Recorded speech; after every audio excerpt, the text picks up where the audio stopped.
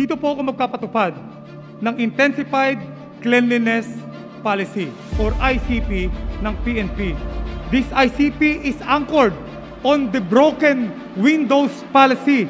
Small problems must be immediately addressed to prevent these problems from getting worse. Cleanliness in the offices, it is where the lasting first impressions of the people are built.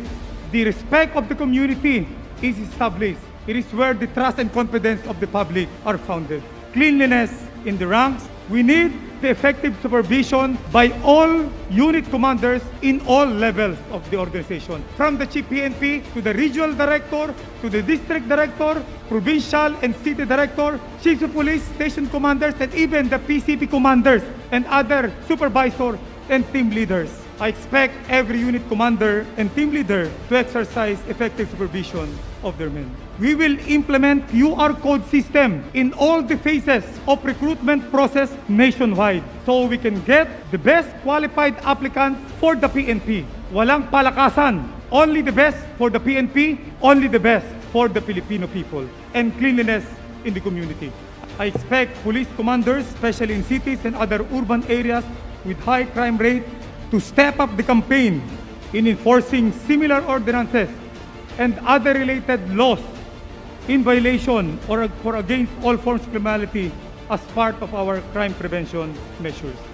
And so to the men and women of the Philippine National Police, let us always be reminded, service, honor, justice.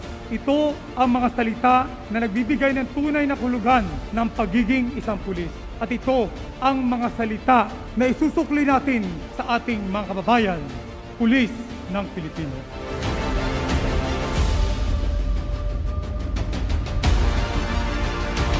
Halos dalawang buwan pa lamang mula ng manungkulan bilang Chief PNP ang ipinatupad na leadership agenda na Intensified Cleanliness Policy o ICP ni Police General Guillermo Lorenzo T. Eliazar ay lubos ng dama at tinatangkilik ng organisasyon at ng mga mamamayan. I humbly present indications and manifestations of good governance and better police service by your Philippine National Police. Dama ng mga mamamayan ang magandang pamamalakad at serbisyong hatid ng Intensified Cleanliness Policy. Tiwala sa pambansang pulisya ay tumataas. The public we serve deserves professionalism and integrity. Public trust and confidence are earned. We must be on the right track. Our services, our initiatives are what compels private organizations and individuals to voluntarily collaborate and partner with our various units. Tumataas na tiwala ng mamamayan ay agarang nasundan ng lumalakas na suporta ng iba't ibang sektor sa mga programa ng inyong PNP.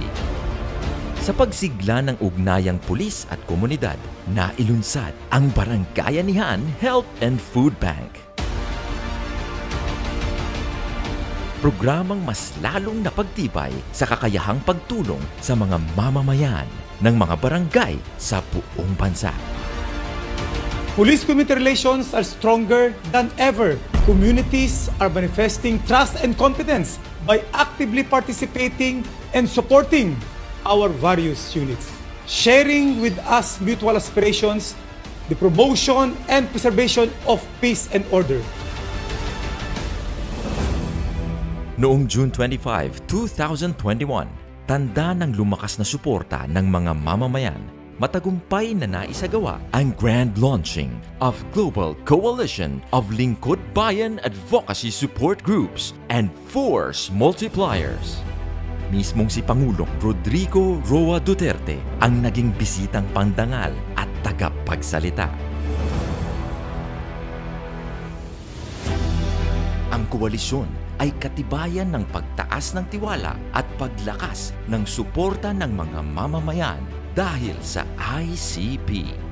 Sa pagtataguyod ng Directorate for Police Community Relations, ng Police Community Affairs and Development Group at lahat ng sangay ng PNP.